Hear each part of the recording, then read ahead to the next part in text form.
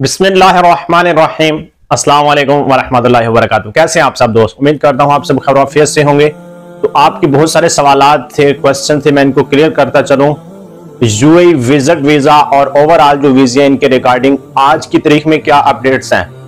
खास तौर पर जो अभी ये बात खुलकर सामने आ गई है, जो बात हम आपको पिछले छह महीनों से बता रहे हैं, वो अभी जो है ना ओपनली ये बात अनाउंस हो चुकी है। इधर के जो लोकल लोग हैं, उन्होंने भी इसको जो है ऑन दी कैमरा ये बता दिया है कि हमने किसी भी नेशनैलिटी के जो वीजे हैं, वो बंद नहीं किए, ना ही हमने बैन किए हैं।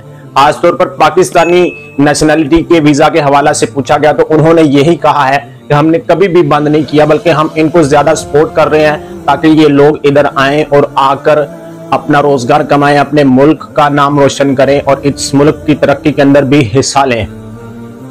अब सवाल ये है कि आप किस कैटेगरी के अंदर आते हैं? ये आपने खुद डिफाइन करना है। यहाँ पर एक स्किल्ड कैटेगरी है और एक अनस्किल्ड कैटेगरी है। सबसे पहले बात कर लेते हैं अनस्किल्ड कैटेगरी अनस्किल्ड कैटेगरी के अंदर लेबर वीजे आ जाते हैं। अनस्किल्ड कैटेगरी के अंदर अब तक की अपडेट्स ये हैं कि हर बंदे को वीज़ा नहीं दिया जा रहा। ठीक है ना? ऑफिशियली कहीं भी ये अनाउंस नहीं है कि हमने किसी एक नेशनैलिटी के लेबर वीजे या अनस्किल्ड वीजे बंद कर दिए हैं या बैन कर दिए हैं। हाँ इनको वीजे नहीं मिल रहे, जिस तादाद के अंदर पहले मिल रहे थे। कुछ कुछ कंपनियों के अंदर हैं जो कोटा सिस्टम मैटर कर रही है, जिसमें मैटर है। और इसी तरह जो मिक्स नेशनलिटी के लोगों को रखना है।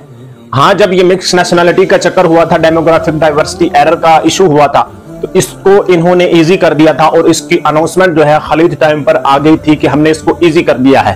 हाँ अभी तक ऑफिशियली कहीं पर भी ये अनाउंसमेंट नहीं है कि हमने लेबर वीजे बंद किए हैं। अब आपके लिए ऑप्शन क्या है?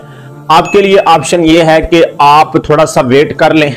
सही है? या सेकंड ऑप्शन है आपके लिए कि आप जनाबे वाला, अगर डिग्री अटेस्टेशन आपकी कंप्लीट है, आपके पास कोई भी डिग्री है, मसलन कि आपके पास एफए की डिग्री है बीए की डिग्री है, या बैचलर मास्टर पीएचडी की डिग्री है, और वो डिग्री अटेस्टेशन है, मैं अक्सर कहता हूँ कि आप अपनी प्रॉपर डिग्री अटेस्टेशन कंप्लीट करें। और इसको जहाँ से आपने ये डिग्री हासिल की है उधर से अटेस्टेड करवाएँ और मिनिस्ट्री ऑफ़ फॉरेन ऑफ़िस से अटेस्ट करवाएँ और एच से आपने इसको अटेस्ट करवाना है। और इधर आकर यूए एम्बेसी यानी कि जो पाकिस्तान में यूए एम्बेसी है, उधर से भी आपने अटेस्टेड करवानी है। और फिर इधर से आकर मोफा से मिनिस्ट्री ऑफ़ फॉरन ऑफ़िस से इसको अटेस्ट किया जाएगा और फिर जो है आपका वीज़ा लगेगा स्किल्ड कैटेगरी के अंदर। सारी की सारी चीज़ें आप जहन नशीन रख लें। असल में हम बता रहे होते हैं, बंदे फोकस ही नहीं करते वीडियो पूरी नहीं देखते तो ये वीडियो आपके लिए ही होती है कि हम आपको ही गाइड कर रहे हैं। विज़िट वीज़ा के हवाला से जो अपडेट सामने आ रही हैं, वो ये आ रही हैं कि जी, अभी विज़िट वीजे भी लग रहे हैं, लेकिन कुछ कुछ वीजे रिजेक्ट भी हो जाते हैं। मैं इसकी पहले भी आपको सारी डिटेल बता चुका हूँ कि अगर आप अपने प्रॉपर डॉक्यूमेंट्स जो हैं, वो रेडी नहीं करेंगे, आप जनाबे वाला जो पासपोर्ट पर पिक्चर है वो अगर सेम नहीं है आईडी कार्ड पर सेम नहीं है, उसमें थोड़ा सा भी फ़र्क है तो फिर भी ऐसी सूरत के अंदर आपका विज़िट वीज़ा रिजेक्ट हो सकता है। या आपके पासपोर्ट पर नाम कुछ है और आईडी कार्ड पर नाम कुछ है, फिर भी आपका विज़िट वीज़ा रिजेक्ट हो सकता है। या आप जिस एजेंट के थ्रू विज़िट वीज़ा अप्लाई करवा रहे हैं, वो जल्दी से टाइप करता है।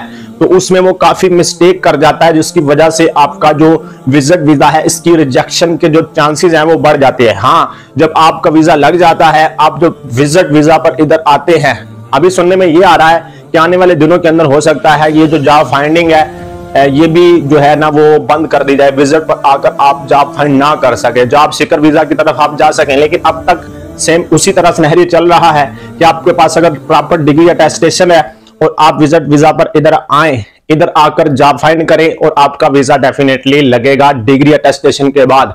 हाँ एक जो मेन चीज़ सामने आई है, वो ये आई है कि आपने अपने पास दरहम लेकर आने हैं।